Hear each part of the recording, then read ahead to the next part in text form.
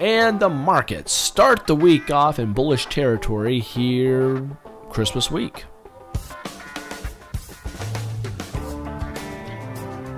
My name's D7 here at Grok Trade, Monday, December 19th, 2016, and the markets go bullish. Small caps doing the best, up 0.65%, but the banks up nicely, 0.75%, but the financials not following suit.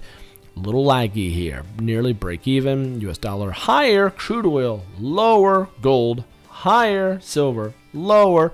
Commodities all over the place, guys, and the VIX dropping ever so slightly.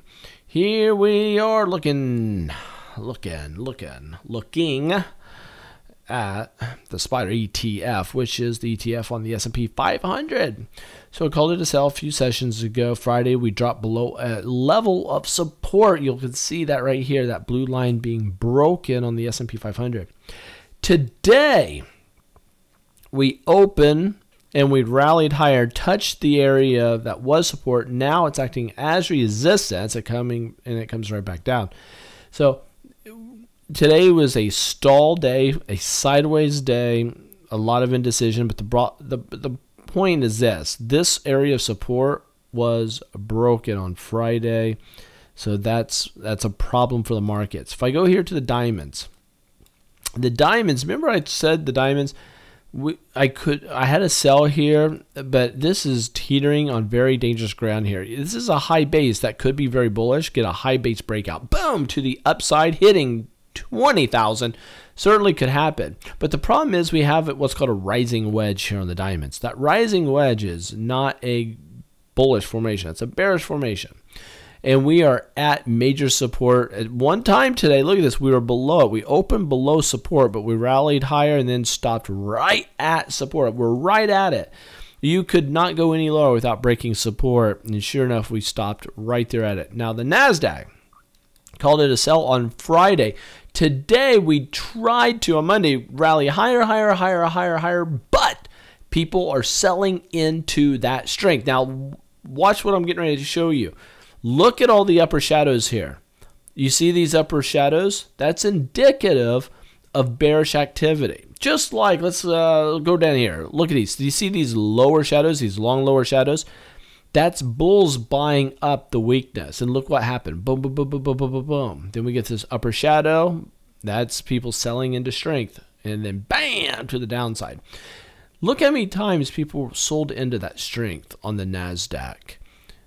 I remain with my sell, even and we just move sideways. We are now below an area of resistance that is not good. Small caps, Russell's small caps. Look at this. We had a rising wedge. It broke down, then broke a major trend line coming across here. See that? That blue one? It broke that last week. Then we go into the red, white, red, white, this railroad track type formation here. We go back and forth, back and forth this is what I fully expect. That this is a bear pullback. We drop, drop, drop, bear pullback. It would not surprise me to see this thing now drop. That's what it looks like it's going to want to do going into the future. Banks, we dropped going sideways. A lot of indecision right now. It's trying to figure out what it wants to do. Financials, we dropped today, but we rallied back. We got a little bit of a hammer here. It'd be interesting to see what happens. US dollar is approaching resistance, guys. Resistance. So if the US dollar starts to drop, that's going to be good for gold and silver. That will also be a problem, or um, very good for stocks uh, also. Crude oil, called it a buy. We move sideways. Let's see what happens with crude oil. Gold, have a sell on it. This is a beautiful bear pullback, guys. This is a great opportunity to go short gold. Silver, low base. This could be another short opportunity, guys, for a low base. Looking for that to drop lower. And we have, we have, we have, we have Grok a trade. want you to look at three different things that will add a samurai sword to your arsenal. The trading mentorship. If you just want Chinese stars, look for the Stock Picks V newsletter. It's the best that's out there. Or if you want to hang out with us every morning to trade, a day trade right along with us, Grokstar chat room.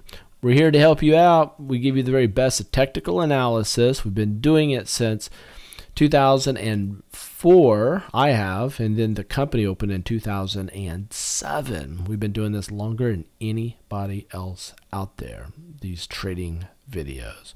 Hope all is well with everybody. Merry Christmas to you and yours. Catch you later.